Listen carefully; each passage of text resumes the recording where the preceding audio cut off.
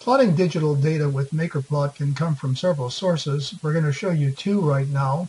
One is a manual way using the log debug immediate window, and another one is going to be more automatic uh, using code in our Arduino Uno shield. So let's start with the manual way. Let's come up here first of all and turn our plotting on. We need to turn plotting on for us to see anything, even in a manual sense. Notice that we're not connected we connected, we would be connected to our Arduino shield. So we don't want that at the moment. So we just want to have our plot icon depressed so that we are now plotting data.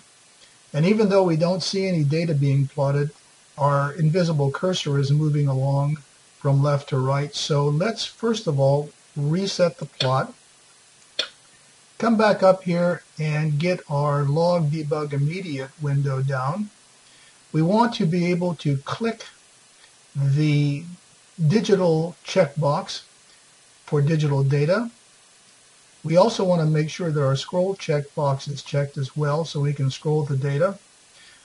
Let's begin by entering some digital data and we start with a percent sign and we're going to enter 8 so we're going to go 0, 0, 0, 0, 0, 0, 0, 0, enter that do another one, let's say 11111111. Okay, there we begin to plot some digital data. Let's do another one, which uh, is 01010101, making square waves. And we notice, of course, that on the right-hand side, our binary data is reflecting our digital input along with the various bits of the LEDs being illuminated or extinguished. Then we can do another one, let's say 10101010 and so forth. 00110011. Okay, this is how to plot data manually. The important thing to realize, though, is the fact that you can test whatever you're trying to do, let's say for your microcontroller code, directly in MakerPlot before you even code your sketch. And you can do that using the log debug immediate window.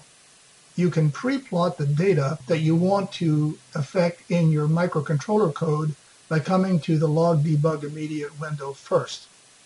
What it shows you in the window is the exact data that you input. All right, let's switch over to the automatic mode. Let's first of all drop our log debug immediate window reset the plot, turn our rocker switch on, and now we have 8 bits of data coming from our Arduino Uno. And before we get much further into this, let's examine the Arduino code. Come over here and we notice that it's a very, very simple sketch.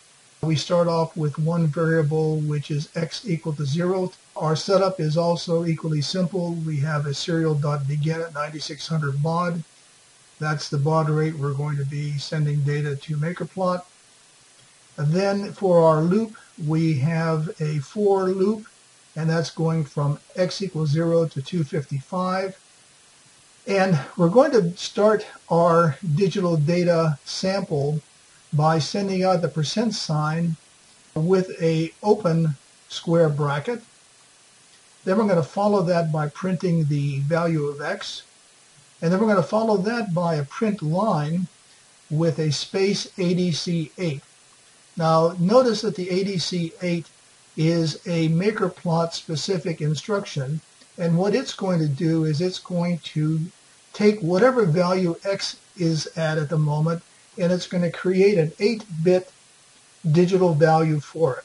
Note, of course, that there is a space between the first A of the ADC, so this is important to uh, realize.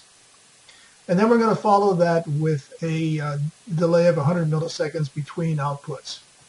So let's go back to our MakerPlot plot, and there it is. We can see that our digital data is being plotted as it goes across the screen. Let's change the time scale a bit so that we can see the data more clearly, especially at the least significant bit area. And then let's come back up here to the log debug immediate window. Now we see that the digital data is rapidly being displayed in our window. So to see it more statically, let's turn off our plot and then we can expand our window out and we can see every piece of data that was sent from our Arduino. So if there is a glitch in your your code or you're looking to find a specific pattern, this is the way to do it by using the log debug immediate window because remember this logs the data and it's for debug and we can also as we've seen before earlier we can key in immediate values directly into a MakerPlot at any time. So again, this is a short but I think effective way of showing you how MakerPlot can both plot data and how you can actually use the log debug immediate window for debugging purposes.